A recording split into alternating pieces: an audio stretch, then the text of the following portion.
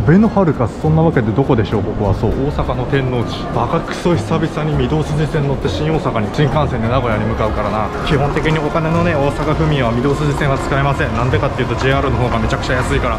そうもうここ新幹線乗り場なんだけどちょっとね時間が時間なんで。これもまた久々なんだけど駅弁でも買って駅弁食いながら名古屋行こうかな新幹線内で。でもね名古屋までって新幹線新大阪からだと50分ぐらいしかないからそんなにめちゃくちゃ余裕があるわけじゃないんだよね。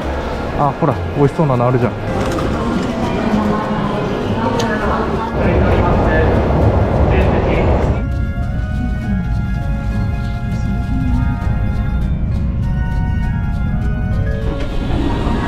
名古屋あっち暑すぎる。ちゃんと寝てたね今日バイト後にそのまんま来てるから普通に疲れてたから現在俺はありがてえことにこの名もねえ町に実家があるからね。今日はとりあえず一晩実家に泊まって明日栄でとあるボカロ P さんとねお食事する予定があるから栄に久々に行きます。さあここが名古屋駅の集合場所というか待ち合わせ場所に使われる場所は金時計です。新幹線出口の横にあるのは銀時計というところ。さあそんなわけでじゃあ俺は実家に戻るか。またな